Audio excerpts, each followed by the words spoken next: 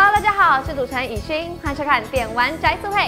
家里有 PS 系列主机，不管是 PS2 还是 PS3 的玩家们，一定玩过独占射击大作《Killzone》吧？这个每次主机首发都会推出新作的《杀戮地带》，现在随着 PS4 的发售，也要推出新作《杀戮地带：暗影多罗》喽！一起来看看游戏情报吧。